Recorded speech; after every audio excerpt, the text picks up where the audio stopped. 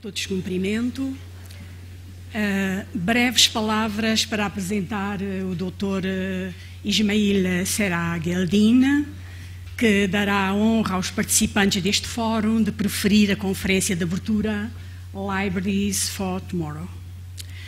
Quando se trata de apresentar uma figura verdadeiramente iminente, é costume dizer-se que dispensa apresentações para se evitar a complexidade de enfrentar uma biografia que nos excede.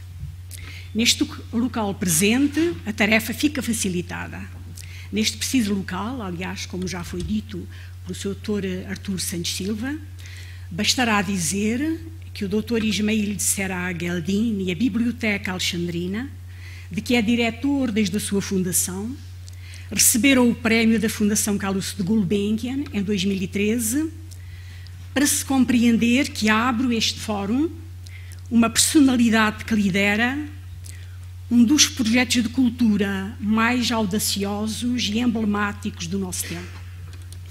Na verdade, a nova Biblioteca de Alexandria, inaugurada em 2002, tendo como espelho mítico o projeto de Ptolomeu II, serve de referência e paradigma das atuais bibliotecas e todos pressentimos que ela será a matriz das bibliotecas do futuro.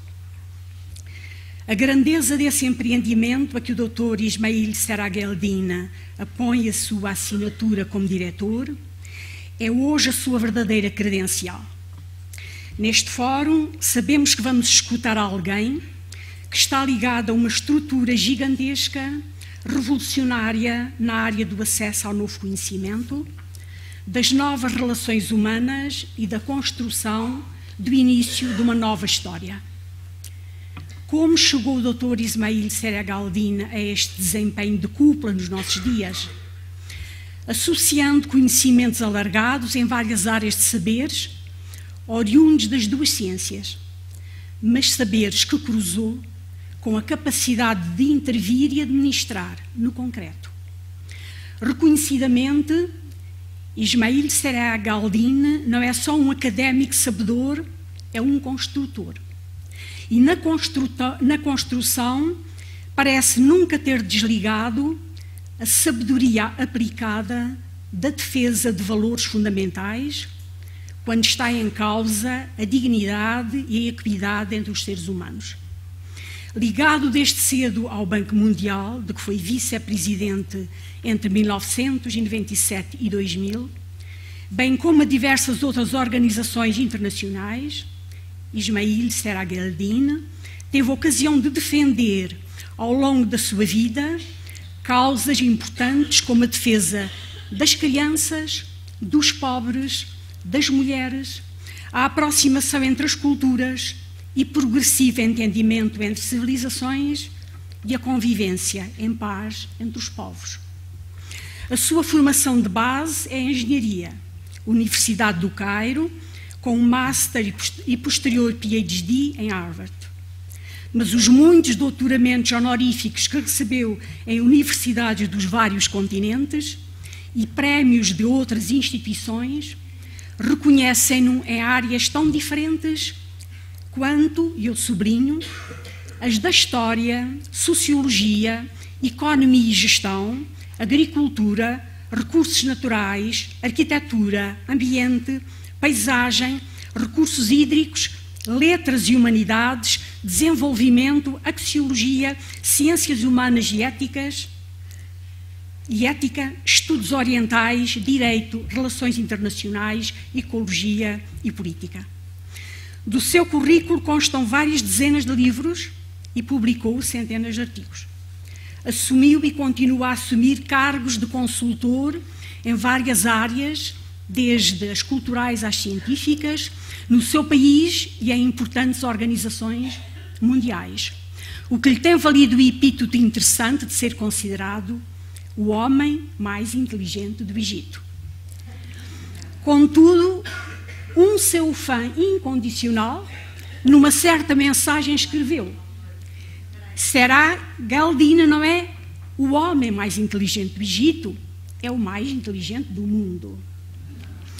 Claro que o admirável mundo novo, digital, e das novas tecnologias parece que ainda não mede a inteligência, de modo a chegarmos, por enquanto, a essa conclusão. Afirmar é que o Dr. Serageldin apresenta-se diante dos desafios da era digital como um líder de crença e otimismo no enfrentamento do futuro, esse mesmo futuro que a muitos assombra e retrai.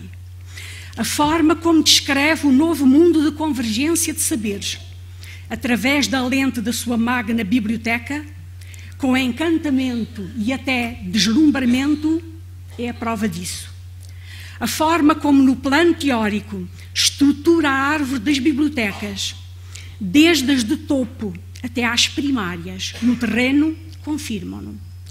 Claro que entre as mais básicas, bem junto ao chão da prática cotidiana, estão as bibliotecas escolares. Espero não me exorbitar das minhas funções se disser que os participantes deste fórum sabem que as bibliotecas escolares, depois de ultrapassada a geração charneira que é a nossa, onde a memória e a prática da biblioteca tradicional ainda permanece, elas, essas bibliotecas de pequena dimensão, mas não mais de pequena escala, porque todas irão ser planetárias, elas serão responsáveis por transformar as novas gerações em cultores positivos na construção de que será a nova humanidade. Sabemos que sem as bibliotecas de base, sobretudo nos países menos desenvolvidos, a digital mind nem sempre se associará a uma mente superior.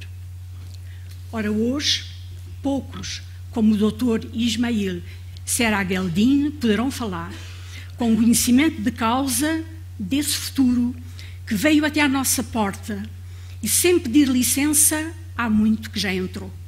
É para o escutarmos sobre o papel das novas centrais do saber na construção do conhecimento futuro, que aqui estamos.